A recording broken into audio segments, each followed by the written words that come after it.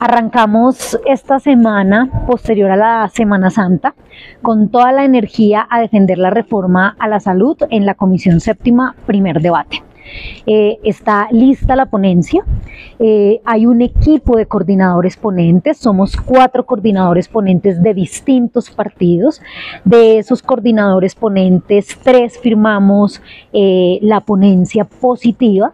Y eso lo que hace es abrir el debate para que podamos discutir en el seno de la Comisión Séptima esta reforma. Primer paso para luego llegar a plenaria, segundo debate e irse a Senado a hacer la misma eh, vuelta, la misma, eh, el mismo procedimiento legislativo.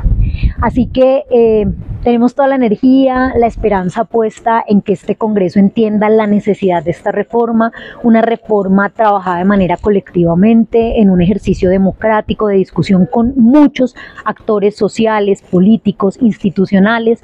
Allí seguiremos eh, siendo garantes de esa participación, de que todas esas propuestas que se recogieron en audiencias públicas, foros, reuniones, mesas de trabajo, queden incorporadas. Buena parte de la ponencia recogida el trabajo, los resultados de esas mesas de trabajo, incluidas las de los partidos que hicieron una propuesta modificatoria. Y así creo que llega a primer debate en comisión séptima la mejor reforma posible para el país, que es susceptible de mejorarla mucho más, por supuesto. Como les digo, ahí estaremos como garantes para que esa participación se dé y esa reforma sea lo que los colombianos y colombianas estamos esperando.